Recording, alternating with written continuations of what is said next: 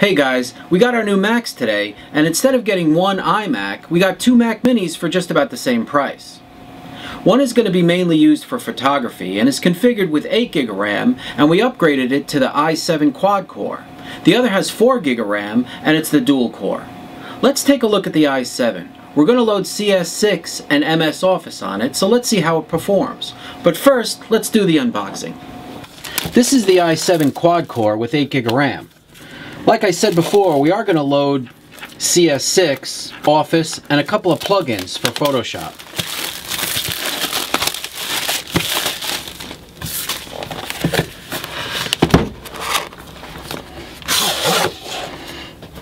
Here's the Mac Mini. Let's see what else you get in the box.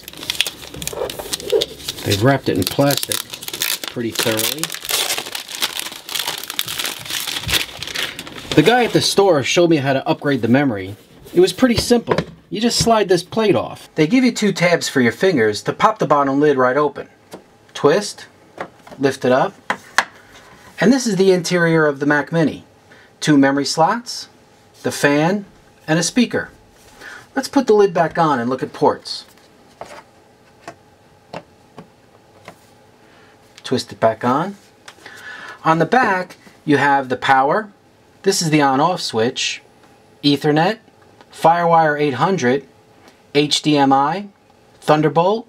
You get four USB 3 ports, audio in and out, and an SD card slot. This is the vent. Let's see what else you get in the box. They make it pretty simple. A, a power cord, what looks like manuals,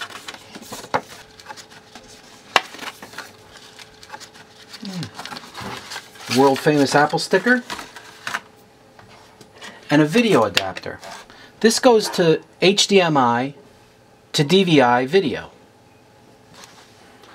Let's boot this thing up and see how it performs. Now that we have the Mac Mini configured with software the way we want, let's take a look at the hardware and see how it performs. It's running Mac OS 10.8.1, it's a 2.3 GHz machine and it was upgraded to the i7. It also has 8 GB of RAM. Let's start with Photoshop.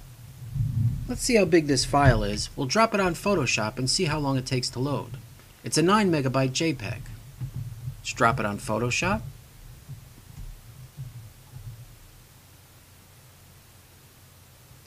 Well, I counted 4 seconds. That's pretty impressive. Let's load a couple of applications and see how it holds up. Here's Adobe After Effects.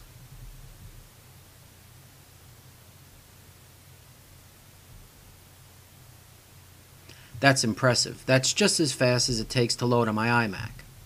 Let's load Word. A browser. And let's go back to Photoshop and make a couple of edits.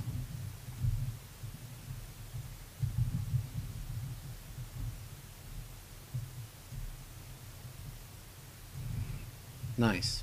That should do it. So let's review what's running.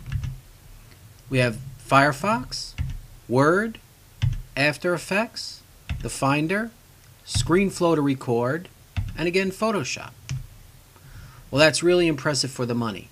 I think this is a great machine and a really good value. Well, that concludes this video. Thank you.